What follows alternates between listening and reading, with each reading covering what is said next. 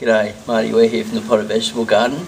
I just wanted to give you a little tip today about something about saving a bit of space because when we're on these verandas, patios that we really want to conserve our space but also go everything as healthy as possible. So what I'm going to show you now is I'm just going to go over, I'm using a handheld camera so it's going to be a little bit shaky but we're going to get over there and you're going to see it. To flip the lens over and bang. You can see here I have a, an old cherry tomato plant growing and at the bottom of it what I've done is I've sprinkled all the seed in from the sweet basil and they've germinated up and they're keeping this tomato plant nice and healthy. And what they're doing at the same time is we can come in here and just pick some of the leaves away and just use it for cooking in uh, salads and in your dishes and all that type of stuff. So and also you can actually grab them and transplant them into pots